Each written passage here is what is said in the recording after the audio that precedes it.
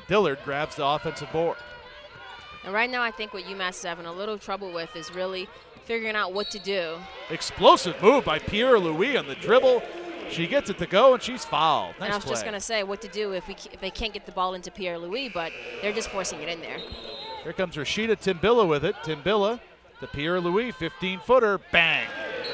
And timeout, Bill Gibbons. And Holy Cross says that was a great shot by the Minute Women's Kim Pierre Louis, who now has seven points and four rebounds. Eight foot hook shot, no good. She gets her own rebound as blocked as Kimber Hill took some contact. Here comes McDermott to Dillard. Dillard goes from left to right, hits the layup, and the Minute Women have a five point lead. And it's UMass ball, 15 to shoot off the timeout called by the Minute Women. There's a three by Dillard. Yes! Dillard hits the three, and that puts her in the double figures with 11. And again, Dillard coming out with this extreme intensity right now. Pierre Louis the Hill. Down low, Pierre Louis. Tough layup against Parker. It's good. 18 points now for Kim Pierre Louis, and the lead to seven. And the Minute Women come away with the rebound with Cierra Dillard, who's had a great ball game today.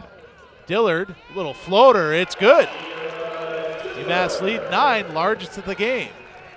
Dillard now has 13, and UMass almost forces a turnover. It's Amber Dillon.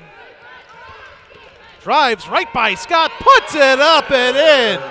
Amber Dillon slowed things down, turned on the Jets, and blew right by Scott, whom she's 10 inches shorter than, and hit the layup.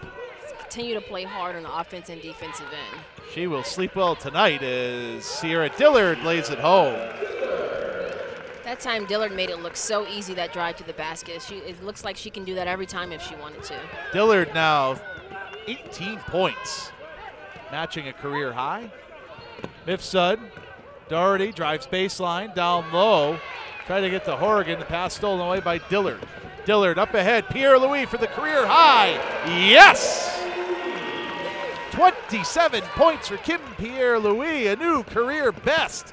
And the Minute Women have all but put this game away.